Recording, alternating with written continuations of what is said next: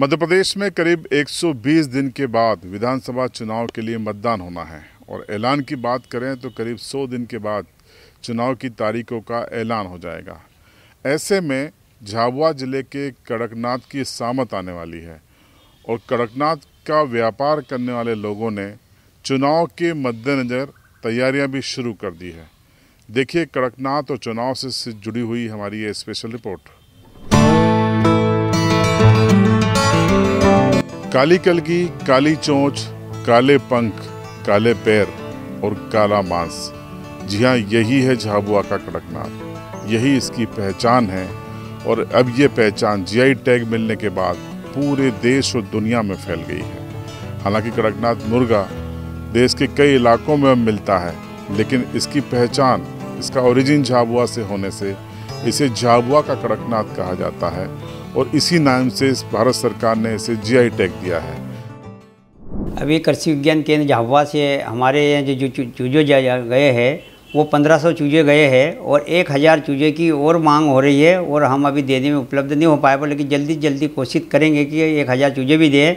और ये अभी ठंड का समय और चुनाव का समय आ रहा है, इस कारण से मुर्गों की डिमांड ज़्यादा बढ़ेगी और अभी इसे तैयार करेंगे तो वो चुनाव के समय स्थिति में वो तैयार हो जाएँगे तो उसका भाव भी अच्छा मिलेगा और उपलब्ध हो जाएँगे कि उनको, ज़रूरत की आवश्यकता लगेगी उस समय।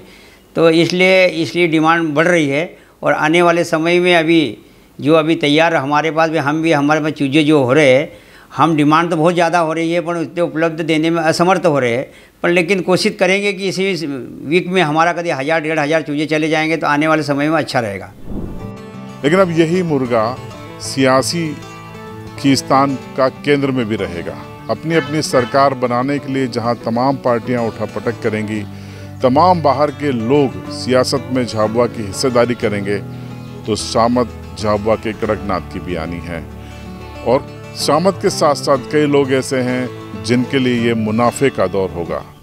ये सर, ये ठंड के कारण ही लाए हैं, अभी ठंड में बिकेंगे इसलिए। ये नवंबर दिसंबर में बेचेंगे इसलिए लाए हैं, चुनाव के टाइम। इसलिए। भाव कैसा मिलता भाव अच्छा भाग के बेचे पहले तो पर वो कम कम, अभी फिर अच्छे भाव मिलेंगे, यूँ हज़ार आठ सौ, नौ सौ भी मिल सकते कई मुर्गे का, ऐसा। चोस से मिल जाएँगे। फिर मार्केट पे डिफरेंस करता है, वो फिर मार्केट जैसे रहती है, ऐसे बाहर की पार्टी आए बोले आपने। यही वजह है कि झाबुआ के जो दो सेंटर हैं, एक कृषि विज्ञान केंद्र स्थित सेंटर और दूसरा मध्य प्रदेश शासन का कुटकुट विकास निगम का सेंटर।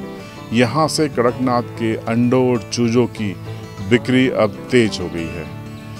बकौल सेंटर के प्रभारियों के बीते 40 दिनों में जो मध्य प्रदेश सरकार का सेंटर है, वहाँ से करीब दस हज़ार से ज़्यादा चूजे खरीदे गए हैं, जो कि अगले तीन से चार महीने में एक मुर्गी की शक्ल ले लेंगे, जिसका इस्तेमाल किया जा सकता है।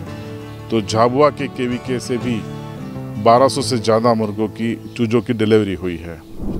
ये जो शासकीय कड़कनाथ कुक्कुट पालन प्रचलित है, ये खास करके चूजे उत्पादन के लिए माना जाता है, और इस सीज़न में जो खास करके जून और जुलाई का महीना है और अगस्त भी लग गया है। यहाँ चूजे पालने के लिए पशुपालक बहुत आते हैं और हमारे द्वारा जून और जुलाई में करीब 30 से 40 दिन में दस हज़ार चूजे सरकार की योजनाएँ प्राइवेट की स्कीम हों, उनमें प्रदाय किए गए हैं और इस महीने में ज़्यादा मांग का मेन मुख्य कारण यही रहता है कि सर्दी जो नवंबर दिसंबर में पड़ती है, उस समय कड़कनाथ की खपत बढ़ती है और जब खपत बढ़ती है तो निश्चित है उसको आमदनी भी डबल प्राप्त होती है, अच्छी राशि में वो बेचता है। और निश्चित है चुनाव भी नज़दीक आ रहे हैं, मुझे उम्मीद है कि अभी हमारी हमारी जो मांग है, चूजे की जो मांग है, वो डबल होने वाली है।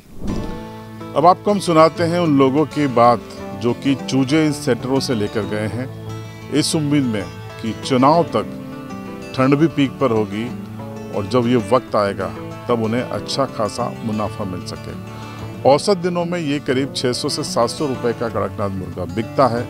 लेकिन जब ठंड आती है और चुनाव ठंड के साथ आ जाते हैं पाँच साल में एक बार, तब इसकी कीमतें, इसकी मांग और पूर्ति के आधार पर तय होती हैं। हज़ार बारह सौ से लेकर ये आंकड़ा पंद्रह सौ दो हज़ार तक पहुँच जाता है। इसका सर ठंड में मतलब बड़े हो जाते ही। न दिसंबर तक अच्छे बड़े हो जाते, पाँच, साढ़े पाँच महीने में तो गिरा गिराकी अच्छी मिल जाती है और पेमेंट अच्छा मिल जाता है इसमें। इसमें ठंड में ज़्यादा डिमांड रहती है सर सियासत और कड़कनाथ का भी एक आपस में रिश्ता है और यही वजह है कि जब कड़कनाथ की मांग चुनावी दौर आता है, तब तेज़ी से बढ़ जाती है। अब आप सुनिए एक राजनीतिक दल के प्रवक्ता को। ये साबिर फिटवेल हैं और ये खुलकर स्वीकार करते हैं कि जब सियासी दौर आता है, चुनावी दौर आता है तब कड़कनाथ की मांग बढ़ जाती है और कहाँ तक पहुँच जाती है, ये बयान सुनिए। कड़कनाथ, आदिवासी बाहुल्य ज़िले का एक जो मुर्गा है, अगर देखा जाए तो पूरे भारत देश में झाबुआ ज़िले को कड़कनाथ मुर्गे के नाम से ही फ़ेमस हुआ है झाबुआ ज़िला।